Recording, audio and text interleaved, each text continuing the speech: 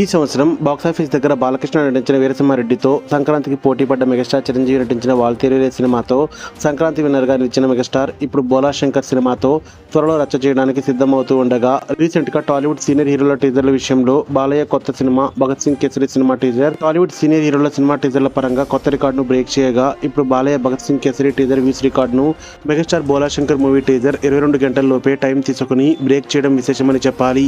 Bhagat Singh Kesari teaser ఇరవై నాలుగు గంటల్లో మొత్తం మీద eleven point four five million వ్యూస్ని అందుకుని సీనియర్ హీరోల సినిమాల టీజర్ల పరంగా కొత్త రికార్డును నమోదు చేయగా ఇప్పుడు megastar Bhola Shankar movie teaser ఇరవై రెండు గంటల్లోపే ఈ రికార్డును బ్రేక్ చేసి కొత్త బెంచ్ మార్క్ని సెట్ చేసి ఇరవై నాలుగు గంటల విషయంలో కొత్త రికార్డు నమోదు చేయడానికి సిద్ధమవుతూ ఉండడం విశేషం.